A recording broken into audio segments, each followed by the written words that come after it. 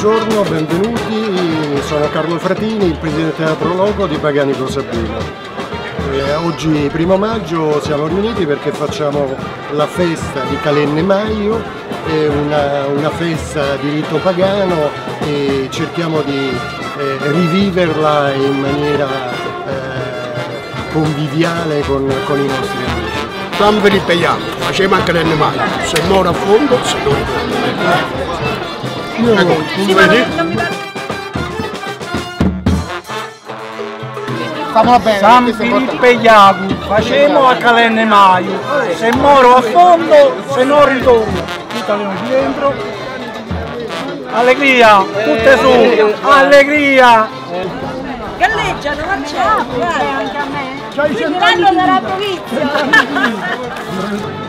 Dopo il rito di Calenne Maio eh, facciamo assaggiare ai nostri ospiti le- la, la zuppa di, di virtù, delle virtù, che è una, anche questa una antica tradizione.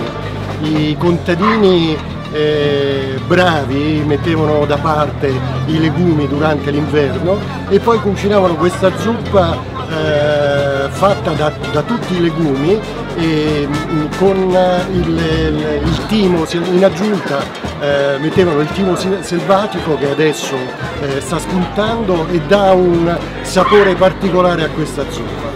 Invito tutti quanti a venire perché è veramente una cosa molto gradevole e molto, molto buona soprattutto.